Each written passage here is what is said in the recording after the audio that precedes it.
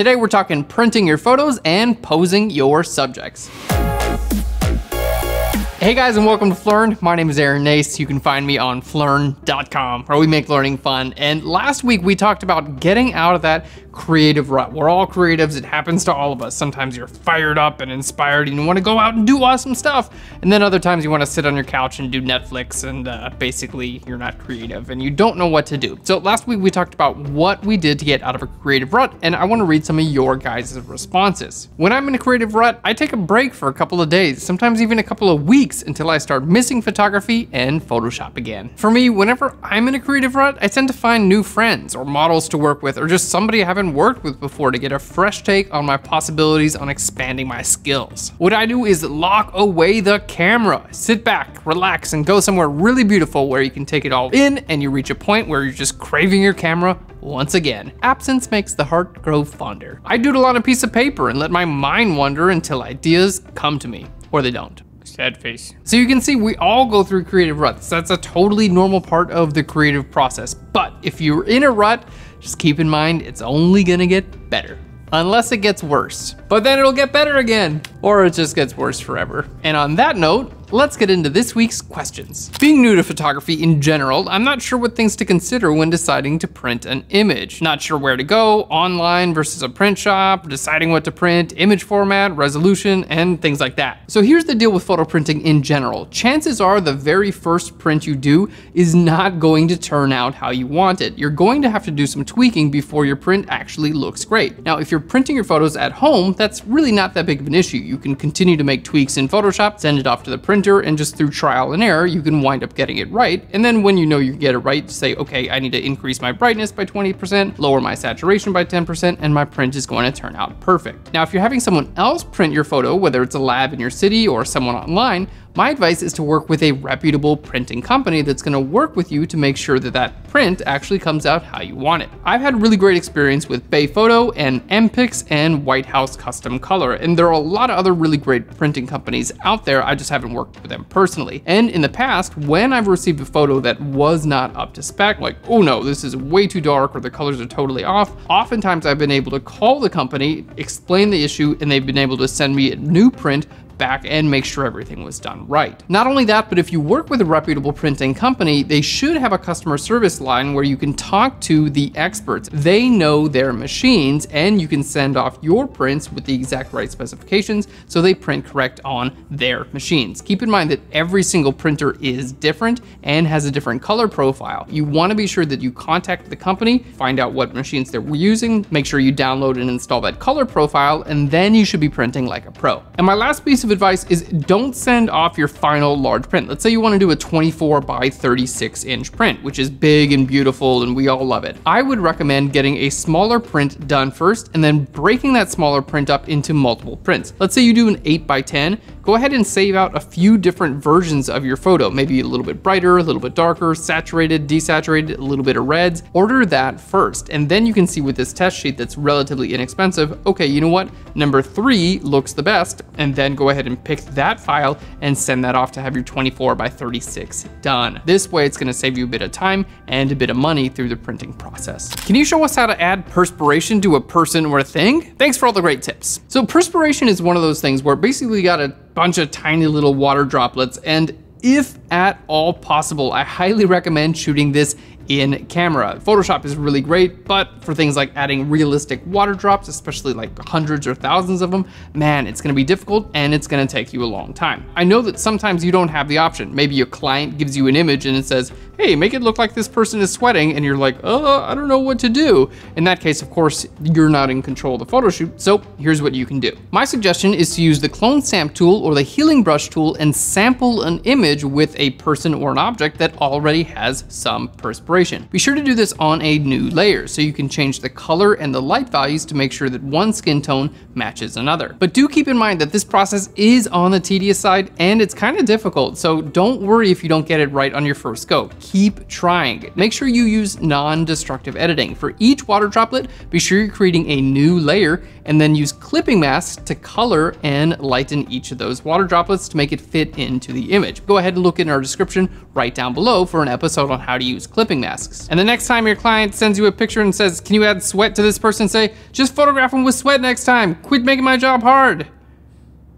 And if you are on set, you can just get a spray bottle and use water with a little bit of glycerin in it. Psh, perfect spray sweat. Spray sweat sounds kind of gross.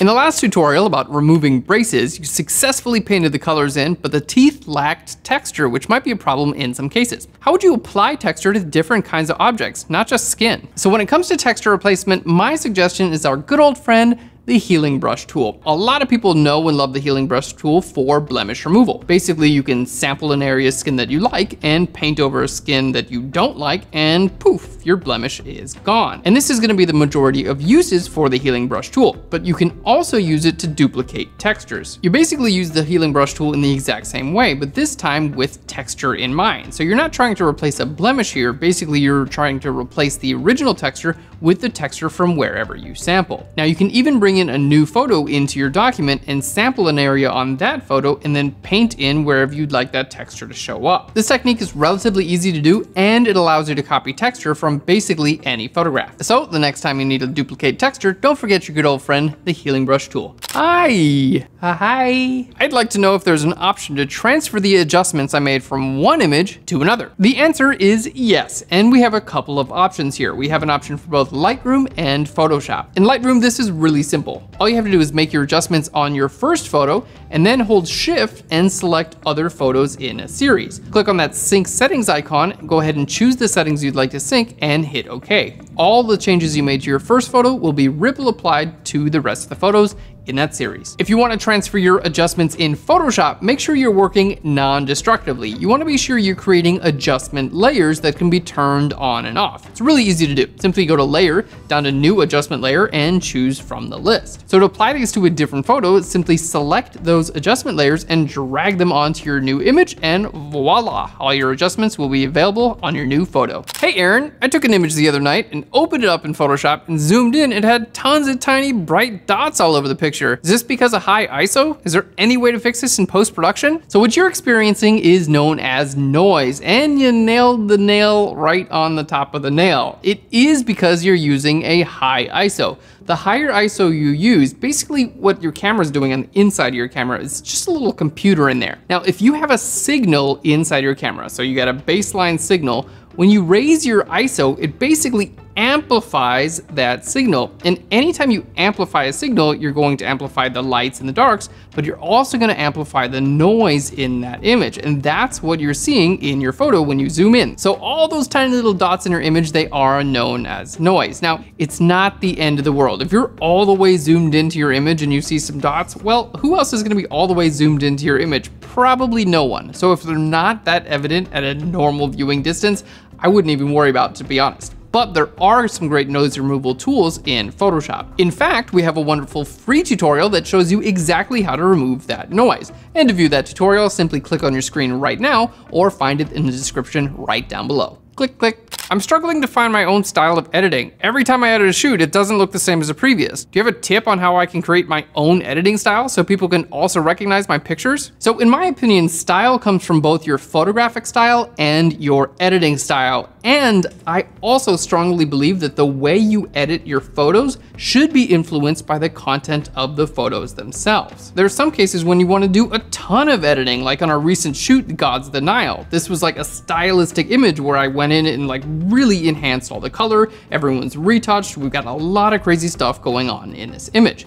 And then we have other types of photo shoots which are a little bit more natural, like this one I shot of my friend Niall, in which I kept the editing relatively simple because that's what I thought the image needed. So if I would apply each of those different types of editing on the different photos, it would not have worked for the photographs themselves. So rather than trying to force an editing style to fit for every single image that you shoot, if you want a consistent image style, make sure that you shoot consistent images as well. Now, I also noticed that my own photographic style and editing styles tends to change throughout time. Maybe it's summer and I'm all happy and I wanna create like bright, beautiful, happy, fun, colorful images. Other times it's winter and I'm all depressed. I wanna create like moody portraits. And those two like oftentimes don't really look like they were done by the same photographer, but there will always be underlying themes in those photos because you're the person who took those photos. So rather than trying to apply the same editing style to all your images, I would focus on what you want to say through your images. You can have bright, happy, fun images and you can have dark, moody photos. That's totally okay. No matter what you do, you're an individual and your unique perspective will show through your photographs. All you have to do is continue taking pictures and after a period of time,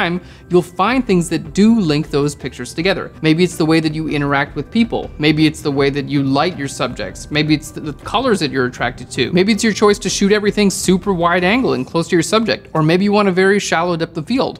All these things are choices that you're going to make throughout your photography career, and that's what's gonna wind up defining your style, rather than your editing style from photo to photo. Can you offer any tips on posing people who are not necessarily models for portrait photography? So it's my belief that the more comfortable a person is in front of the camera, the better that portrait is going to be. You're gonna get expressions that are natural instead of contrived, and you're gonna get poses that are natural instead of contrived as well. Basically, I would spend all your time and energy just making sure that the person you're working with is comfortable. And that has nothing to do with your camera or your lights or your tripod, your gear or anything like that. If they're cool with you, chances are they're gonna be relatively natural during the day of the shoot, and that's going to show in the photos. Now, as far as posing someone's body, there are a few guidelines that are gonna help out, but keep in mind the person has to be comfortable because if they're uncomfortable, it's gonna look uncomfortable on the camera as well. So let's start from the head and go down. Generally, you want their chin to be up and out a little bit. That's just gonna help separate their head